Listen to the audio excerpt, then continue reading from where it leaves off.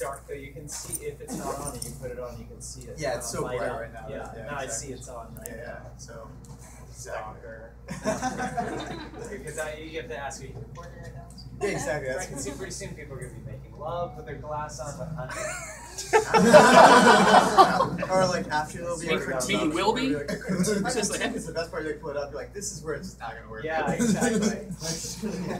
but yeah, I think it's gonna be super helpful for professionals in medical school, Yeah. medical spaces, and dentists. And then eventually, I hope it'll come to like, you know, more average people. But one of the things, like as performers, like we're thinking about like you know your perspective going to shows, like you know what I mean. Which is, I asked them if they, I was gonna uh, uh, do a video with the, with the glass, but uh, we, you know, we were talking about it a little bit with a Yeah. music video.